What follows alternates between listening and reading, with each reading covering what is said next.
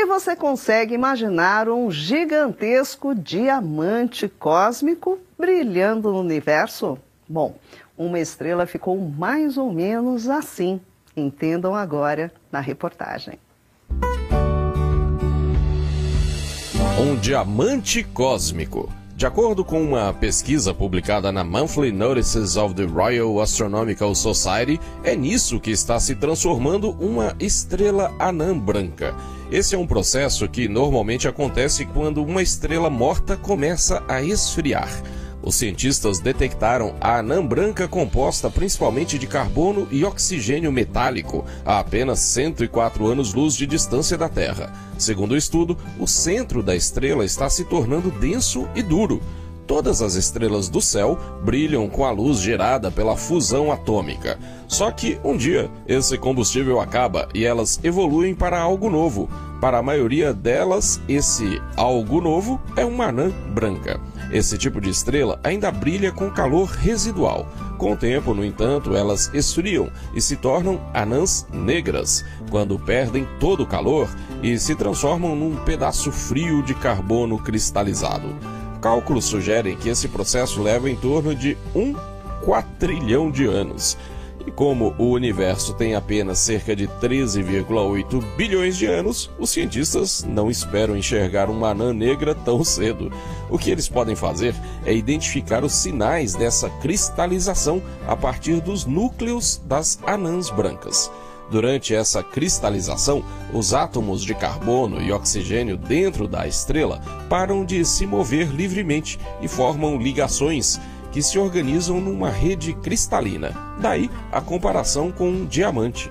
A anã branca detectada na pesquisa está justamente nessa fase. O processo é considerado um dos mais interessantes da astronomia. No olhardigital.com.br você confere todos os detalhes de mais essa descoberta super interessante.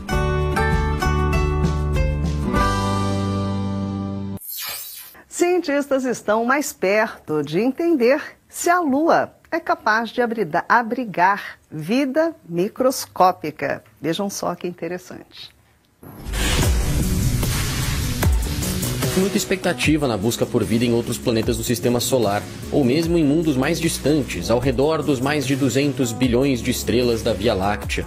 No entanto, pouco se fala sobre a possibilidade de micro-organismos habitarem um corpo celeste muito mais pertinho da gente do que a gente imagina Estamos falando da Lua. Agora, parece que isso está prestes a mudar. A NASA anunciou que um dos focos dos astronautas das futuras missões de pouso na superfície lunar pelo programa Artemis será justamente investigar locais com potencial para abrigar micro-organismos. Uma nova pesquisa conduzida pela agência sugere que os futuros visitantes do Polo Sul lunar devem estar atentos a evidências de vida em crateras superfrias permanentemente sombreadas.